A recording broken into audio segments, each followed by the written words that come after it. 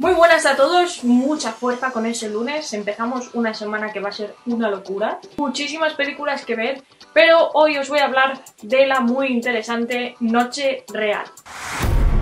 La guerra contra Alemania llega a su fin. Hoy es el día de la victoria en Europa.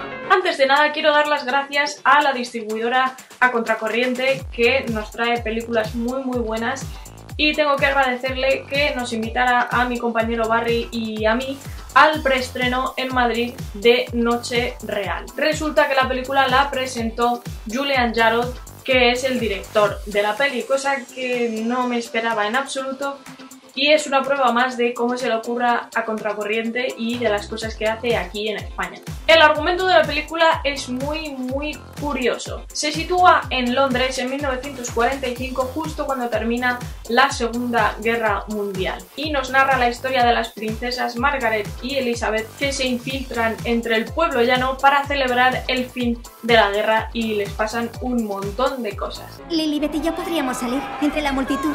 No podemos hacer eso.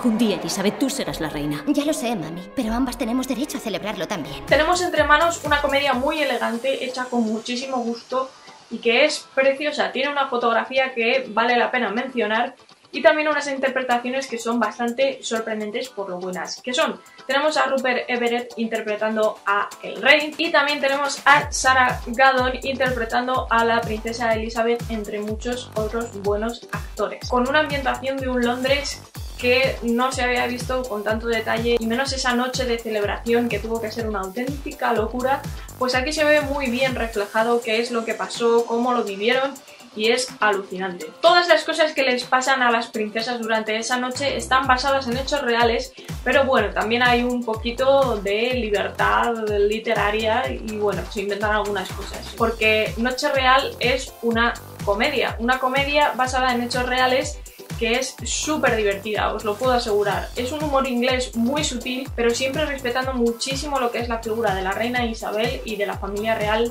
en general. En esta peli hay un montón de personajes y la verdad es que es súper entretenida te lo pasas genial. Otro de los aspectos que merece la pena destacar es la construcción del personaje de la princesa Elizabeth. Aunque no estemos muy familiarizados con el Reino Unido, sí conocemos mucho de la historia de su familia real y la verdad es que cuando ves la interpretación de Sarah Gadon ves mucho de la personalidad de la reina Isabel y es alucinante porque se ve que es ella una reina Isabel muy muy joven, con unos ideales muy marcados, una mujer que se hacía respetar y en este caso se hace responsable de su hermana Margaret que se lo está pasando genial pero él no para de meterse en líos y ella tiene que ir arreglándolos todos como buena hermana mayor. Mi puntuación para Noche Real es un 7. De verdad muy recomendable, no solamente por la historia que cuenta, sino por lo bien rodada que está, con unas actuaciones en su sitio, ni más ni menos, lo justo y necesario, de manera que prácticamente te crees que todo eso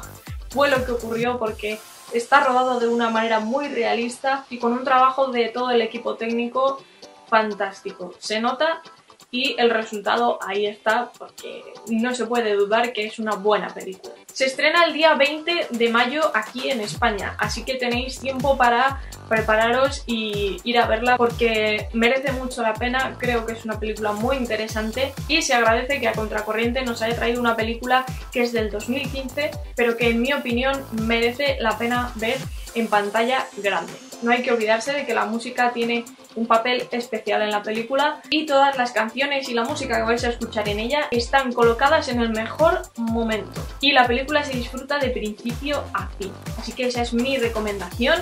Os voy a ver dentro de nada, esta semana va a ser una locura enorme, no sé si lo he dicho ya, yo creo que sí. Así que me voy a poner en marcha, voy a trabajar para que tengáis las críticas cuanto antes. Cuidaros mucho y disfrutad del cine. ¡Chao!